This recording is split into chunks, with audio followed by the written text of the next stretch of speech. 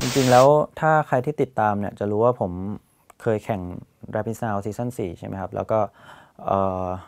ผมมีเรียกว่ามีชื่อแล้วกันจากการที่ผมโดนด่าว่าเออก๊อปสไตล์เหมือนคนนั้นเหมือนคนนี้ แล้วผมก็เลยทำออกมาเป็นสไตล์นั้นจริง ๆ เหมือนแบบเอาด่าว่ากูก๊อปอะเออเอาเลยกูเต็มที่เลยเป็นคนนี้ให้เลยก็คือเป็นทอเด็ดครับก๊อปทอเด็ด ซึ่งซึ่งผมรู้สึกว่าแบบตรงนั้นอะมันเกิดแอดดิจูดที่ผิดผิดสำหรับคนหลาย ๆ กลุ่มไปคนดูที่แบบไม่ได้ไต่ตรองอะคือจริง ๆ แล้วถ้ากลับไปย้อนดูจริง ๆ เนี่ย ผมจะใช้สไตล์คู่ต่อสู้กับคนที่เขาชนะมา คนที่คู่ต่อสู้เขาชนะมาเนี่ยเราค่อยมาเจอผม ผมจะใช้อย่างนั้นตลอดกับคนที่รีเลทกับเขาอะกับคู่ต่อสู้ผมอะผมจะพยายาม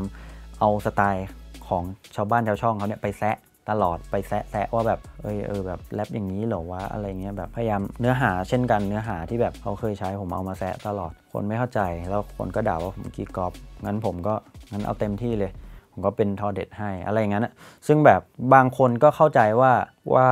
เฮ้ยอันไอสิ่งเนี้ยมันคือสิ่งใหม่นะ มันคือแบบโอ้สุดยอดเลยเป็นทอเด็ด บางคนก็ไอขี้กอล์ฟไอขี้กอล์ฟไม่มีความคิดเป็นของตัวเองไงคิดว่าเจ๋งเหรออะไรเงี้ยผมก็แบบ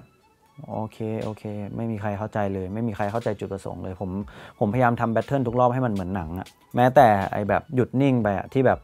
ก๊อปสไตล์เอ็กบอดบอยเพราะเอ็กบอดบอยหลุดมาคู่ต่อสู้ผมเลยได้เข้าชิง ผมพยายามทำอย่างนั้นอะเพื่อแบบก็ไม่แรปอะทุกคนต่างพยายามแบบเอ้ยแรปเยอะๆเว้ยเออกูต้องด่าเยอะๆเว้ยผมแบบนี้แล้วผมก็แรปว่าเออกูก๊อปสไตล์เอ็กบอดบอยมา ผมพยายามปูเรื่องราวให้มันเหมือนหนังน้อยคนมากที่ get แต่คนที่เก็ตเขาแบบเด็ดแค่แต่คนที่ไม่ get เอ้ยมึงประมาทอะมึงเว้นเว้น beat ไว้ทำไม แต่ความเป็นจริงแล้วกฎของ Rap is Now คือ ถ้าคุณไม่เริ่มแรปคำแรก เขาไม่จับเวลา เขาไม่จับเวลา เขาเขียนไว้ในกลุ่ม ผมแบบเอ้าไม่จับเวลาเอ้าดีดิผมตรงโจทย์เป๊ะ แล้วผมไม่สามารถเว้น beat ได้ตอนท้าย คือจะให้ผมแบบแรปแรปแรปอยู่แล้วไปหยุดเงี้ยไม่ได้เพราะเวลาเขายังวิ่งต่อ แต่ถ้าผมนิ่งมาเปิดมาเปิดมาผมนิ่งเลย แล้วผมก็แรปอะอันนี้เวลาเขาเพิ่งจับ คำแรก อันนี้ผม inspire มาจากใครนะ มือกลองคนหนึ่งผมจำไม่ได้ละ TIJC เมื่อประมาณ 3-4 ปีก่อน แกตีมากับวงใช่ไหมครับ ตีมากับวง แล้วแบบถึงจุดที่แกต้อง trade อะ trade four แบบหรือโซโล่สักอย่าง แล้วแบบวงก็แบบหยุดรึม แกหยุดนิ่งเว้ยแกไม่ตี ซึ่งแกเป็นมือกลองที่โหดมากๆอะเก่งโคตรเลยแล้วแกก็แล้วเขาก็เหมือนพูดว่าแบบเออ silence ความเงียบอะมันก็คือการเล่นเหมือนกันอะที่เรารู้สึกดีกับเพลงเนี่ยเพราะเพราะมันมีทั้งการเล่นแล้วก็การหยุดนิ่ง การเงียบ รู้สึกว่าการเงียบเงียบเนี่ยมันก็ impact เหมือนกันนะเออแล้วคนก็ยังพูดถึงทุกวันนี้ว่าแบบเออก๊อปสไตล์เอ็กบอดบอยเว้ยอะไรเงี้ยน้อยคนที่เข้าใจว่าอ๋อแล้วรวมไปถึงเรื่อง beat ด้วย เวลาที่ beat มัน drop เนี่ยเออหมายถึงว่า beat ที่เขาส่งมาให้ผมเนี่ย ถ้าเราแรปตั้งแต่บาร์แรกที่ที่ beat เข้านะครับ ถ้าเราแรปตามที่เขากำหนดมาเนี่ยสี่บาร์สุดท้ายเราเนี่ย beat มัน drop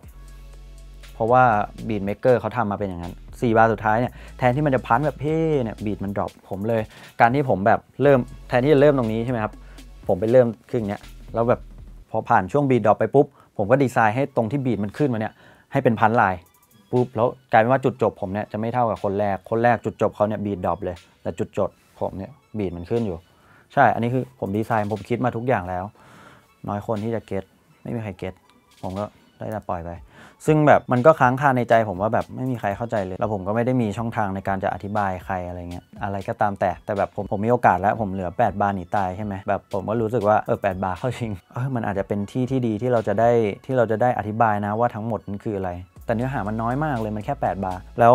เท่าที่ดู feedback เนี่ยเขาหลาย ๆ คนก็แบบโพสให้ดูหน่อยก๊อปโปรดิวเซอร์ให้ดูหน่อยเดไอขี้ก๊อปคือแบบเขาเห็นเราแปะป้ายหัวเราแล้วว่าไอขี้ก๊อปแล้วมึงก็ไปก๊อปให้กูดูหน่อยดิกูสนุกอะไรเงี้ยซึ่งแบบได้ได้ก็ได้แต่มีเนื้อที่แค่ 8 บาร์งั้น ผมทำทำไงเดียถ้าก๊อปคนละ 2 บาร์ก็หมดแล้วผมงั้นแบบผมเอาแบบทู่ที่สุดเลย แบบไม่ต้องคิดอะไรที่สุดเลยตื้นเขินที่สุดเลยก็คือ rap rap เนื้อเพลงเขาไปเลย หรือว่าแรปแบบคำติดปากเขาไปเลย แล้วก็ทำเสียงให้เหมือนเขาจบแล้วแม่งไม่ได้แบบแม่งไม่ได้ลึกเท่า Rap Is Now ด้วยซ้ำผมทำอะไรที่ตื้นเขินสุดๆไปเลย แล้วก็ 4 บาร์ปุ๊บผมเหลือ space อีก 4 บาร์ผมก็แบบอธิบายว่าไอ้ทั้งหมดนี้เราทำไปเพื่ออะไรแค่นั้นเองผมก็แบบไม่ใช่แค่ทำตามตำราให้ตรงลักษณะ แต่เอามาปรับใช้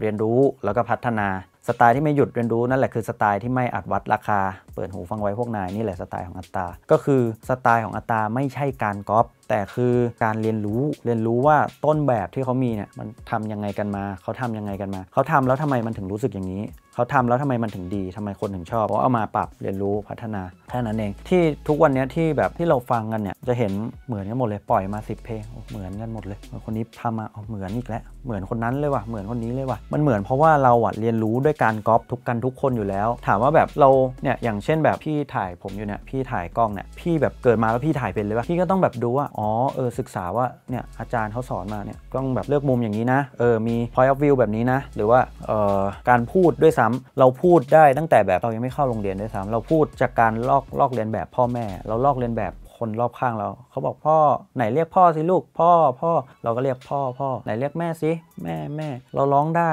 ตั้งแต่แรกทำไมเราถึงร้องเราทำไมเราถึงแบบแก้โจทย์ปัญหา หรือว่าบวกเลขลบเลขได้อันเนี้ยก็มาจากแบบการทำตามครูบนกระดานไม่ใช่หรอ คือการเรียนรู้นั่นแหละ คือการทำตามทั้งหมด อาจจะมีวิธีอื่นนอกจากนี้ แต่แบบผมแค่คิดว่าวิธีลอกเลียนแบบเป็นสิ่งหนึ่งที่ให้เกิดการเรียนรู้ได้ไวที่สุดรวมไปถึงแบบถ้าพวกนักดนตรีจะเข้าใจดีเวลาแบบ อาจารย์เขาถามว่าฟังใครอยู่ ช่วงนี้ฟังใครอยู่ แบบอาจารย์ครับผมอยากเล่นแบบนี้ได้มึงไปฟังคนนี้ ไปฟังคนนี้ทำไมเขาถึงให้ฟัง เพราะว่าการฟังแล้วทำตามคือการเรียนรู้ที่ไวที่สุด และดี